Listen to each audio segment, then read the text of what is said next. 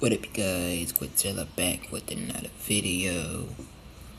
Um, I'm gonna just show you guys this.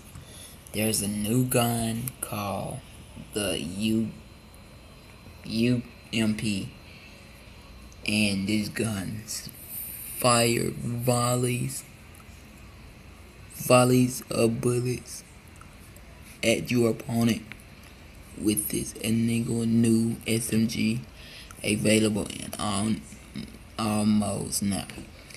So, this is new gun. That's how it look.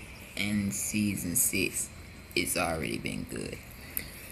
Plus, I can't believe that they still didn't bring like at least like two guns already in this season.